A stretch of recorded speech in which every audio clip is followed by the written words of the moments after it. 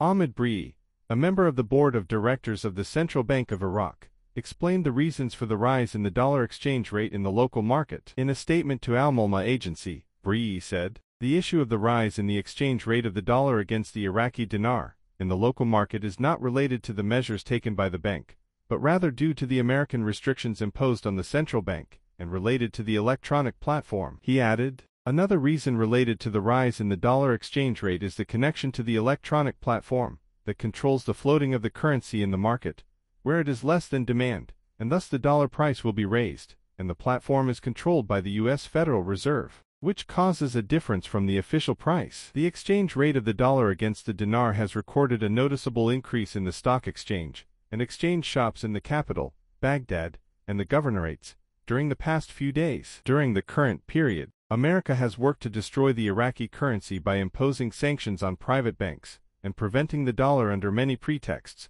which in one way or another led to a severe financial crisis in local markets.